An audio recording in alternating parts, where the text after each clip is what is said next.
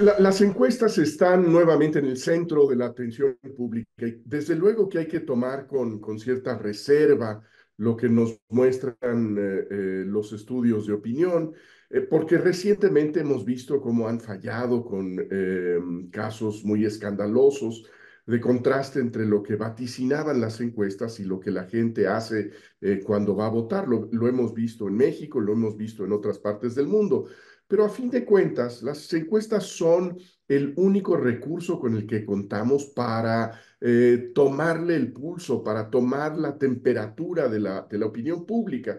Y desde luego no, no la podemos tomar como una eh, eh, verdad incontrovertible, pero es la mejor pista para eh, darnos cuenta, a ver por dónde van las, las emociones públicas, la, la percepción de la gente sobre lo que va eh, sucediendo. Y algo nos dicen las encuestas de cómo van las campañas electorales. Son un material muy valioso para los electores, para que eh, tengamos una pista de lo que está sucediendo, pero sobre todo es un material valiosísimo para los eh, eh, políticos, para quienes están diseñando las campañas electorales.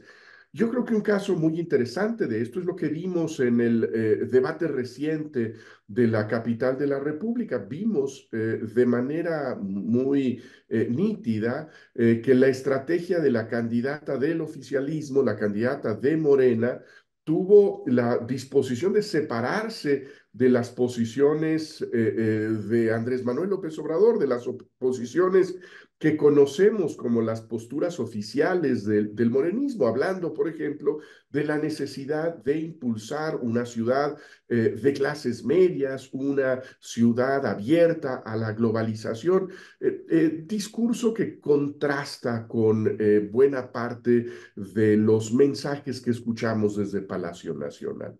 Eh, y, creo que eso también deberíamos nosotros plantearlo en términos de lo que sucede en las encuestas eh, eh, para la elección presidencial. Y algo nos están diciendo, las encuestas presidenciales nos dicen que la brecha entre la candidata puntera y la candidata de la oposición no se está cerrando.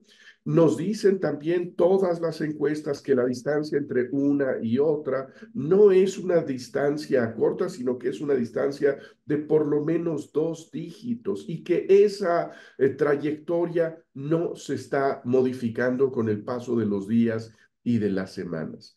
Eh, habrá controversia sobre el margen, hay ciertamente mucha diferencia entre lo que dicen unas encuestas y otras, pero esta trayectoria, este perfil de la contienda está en cada una de las encuestas eh, eh, que conocemos nosotros.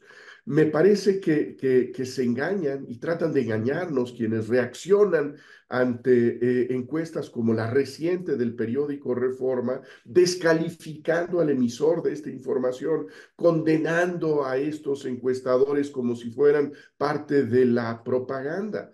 Eh, yo creo que esto es un, reflejo de quienes quieren cerrar los ojos a lo que está pasando. Y las encuestas que se han publicado recientemente son muestra de que eh, la campaña electoral no está modificando las preferencias con las que eh, empezó el electorado este proceso que eh, las candidatas no están alterando la dinámica, sino que están manteniendo la trayectoria que tenían desde el arranque. Yo creo que desde la, la, crítica podríamos nosotros cuestionar la mimetización de Claudia Sheinbaum con el discurso del presidente López Obrador.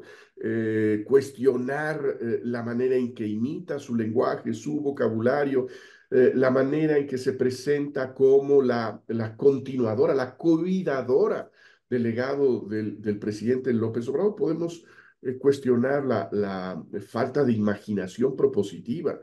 Pero si vemos las encuestas, lo único que tenemos que reconocer es que esa estrategia es una estrategia que está eh, funcionando, que es una estrategia eh, que le está permitiendo a Claudia Sheinbaum mantener eh, esa cómoda ventaja con la que empezó la campaña electoral.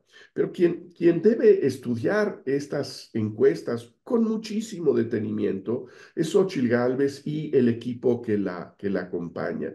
Eh, no puede tomar eh, la actitud de algunos de sus promotores que simplemente descalifican esa encuesta, sino leerla con muchísima, con muchísima atención, porque creo que esta, estas encuestas, la de reforma eh, de esta misma semana, es la última llamada de alarma para esa campaña. Si esa campaña no se sacude, no se va a levantar.